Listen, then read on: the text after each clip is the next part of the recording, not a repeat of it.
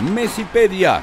Todo, todo, todo, todo, absolutamente todo sobre el fenomenal astro del fútbol mundial.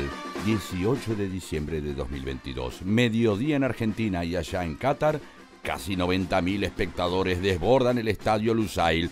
No cabe ni un alfiler. Ellos juegan juntos en el PSG francés, pero ahora el fútbol los pone en bandos diferentes. Messi y los suyos dominan y se ponen 1 a 0 hasta el minuto 35.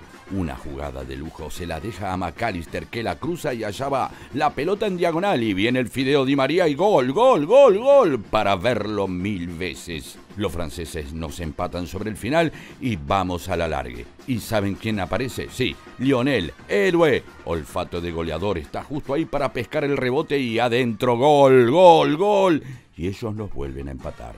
Faltan segundos para el pitazo final. Van 120 minutos y la pelota le llega a Colo Muani, que solito, solito se queda cara a cara con el Dibu Martínez. Más de 46 millones de argentinos contienen la respiración. Grande, inmenso. Dibu se agranda como un pavo real y nos salva la vida. Y llegan los penales. Los franceses fallan dos veces y debe definir Montiel. Y sí, convierte y somos campeones después de 36 años. Messi rompe el hechizo y nos trajo la tercera. Gracias, Lío querido.